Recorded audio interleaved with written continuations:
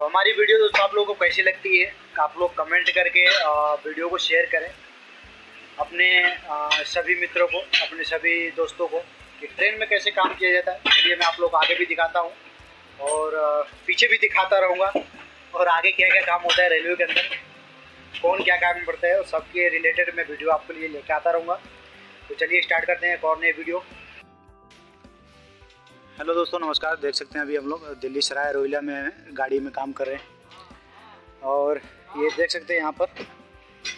हम लोग का ड्यूटी लगा है यहाँ पर। स्पेयर पाना दे रखे हैं। और यहाँ पर फिटर हैं एक, जो सीट का काम कर रहे हैं। और एक मोचोर आदमी है जो मुँह छुपा रहे हैं अपना। लेकिन हम लोग अपना यहाँ पे, देखिए, काम कर रहे हैं यहाँ पर अच्छे से। देखिए, कितना मेहनत से मैकेनिक काम कर रहे हैं। लेकिन ये हैं अप्रेंटिस आदमी।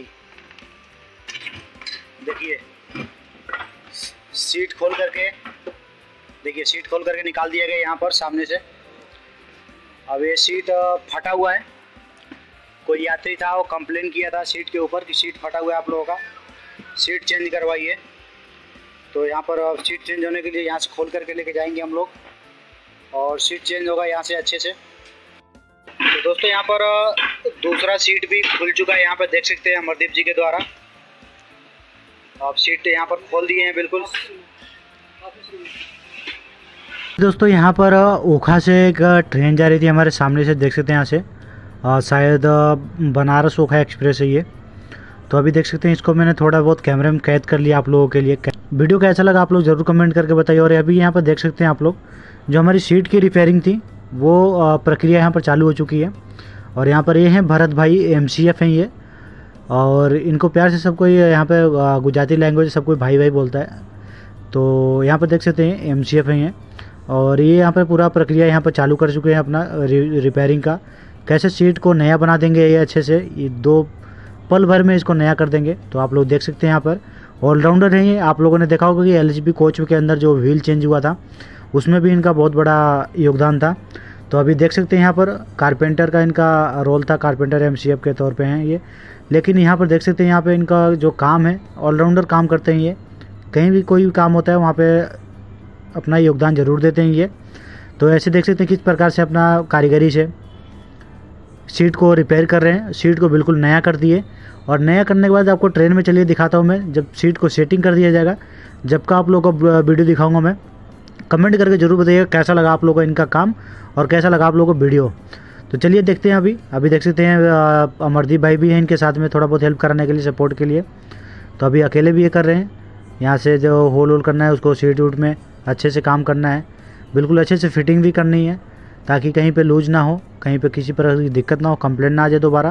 तो इस प्रकार से यहाँ पर काम हो रहा है दोस्तों, देख सकते हैं आप लोग बिल्कुल क्लियरली यहाँ पर अभी चार सीट हम लोग को करना था। और अभी यहाँ पे समथिंग दूसरा या तीसरा है ये। दूसरा है समथिंग दूसरा होने के बाद इसको अभी दो सीट और बचे हैं। वो भी हमें काम करने हैं। अभी हम दोनों से, दोनों सीटों को यहाँ पर ला करके फिटिंग करेंगे। तो देख सकते हैं यहाँ पर 51 नंबर सीट है। ये बिल्कुल ओके चुका है। और यहाँ पे सामने 60 नंबर सीट है। ये भी बिल्कुल ओके चुका है। 61 नंबर को सीट है। तो इसको हम लोग काम कर रहे हैं अभी। और अभी 80 नंबर सीट है। इसको भी काम करना है अभी। तो चार सीट थे हम लोग को। चार सीट काम करने थे। तो चलिए देखते हैं आगे कैसे काम होता है ये। तो बिफोर और आफ्टर का जो फ़र्क है आप लोग ज़रूर बताइएगा हमारे का, काम कैसा लगा। और जितने रेलवे के यात्री हैं रेलवे का काम करते हैं तो वो लोग भी ज़रूर बताएँ कमेंट करके कि आप लोग अगर किसी प्रकार की कोई शिकायत होती है तो उसको आप लोगों का जो शिकायत है उसके ऊपर निस्तारण किया जाता है कि नहीं किया जाता है। तो आप देख सकते हैं अभी एटी नंबर सीट मैं खुद चेंज कर रहा हूँ यहाँ पर सामने से बैठ करके। और बाकी वहाँ पर अमरदीप भाई थे तो वो भी चेंज कर रहे थे। तभी मैं इसको सामने से अपने यही आ गया ताकि कैमरे में, ताकि आप लोगों भी दिखे कि मैं काम कर रहा था यहाँ पे। और कैसे चेंज होता है, कितने बैठ के यहाँ पे काम करना होता है सीट के नीचे जगह नहीं होती है जल्दी। और यहाँ पे कितना कम सीट रहता है, उसमें कंफर्टेबल भी नहीं बैठते हैं। तो देख सकते पूरा नीचे झुक करके बैठ करके काम करना होता है यहाँ पर, देख सकते हैं आप लोग। तो दिक्कतें होती हैं थोड़ी बहुत बट क्या करते हैं, काम करना होता है तो काम करते हैं आप लोगों के लिए। बाकी वीडियो कैसी लगी आप लोगों के लिए ज़रूर कमेंट करके बताएँ और अच्छे नए हैं आप लोग हमारे चैनल पे तो सब्सक्राइब करें। अभी हमारे कोच का नंबर है ये। और कोच के नंबर जो हम लोग काम किए हैं, वो सीट का नंबर मैं दिखाता हूँ वहाँ पर फिफ्टी वन सिक्सटी और सिक्सटी वन ये हो गए और एटी नंबर हो गए सीट ये लोग हम लोग काम किए थैंक यू सो मच दोस्तों कमेंट करके ज़रूर बताएँ कैसी लगी वीडियो।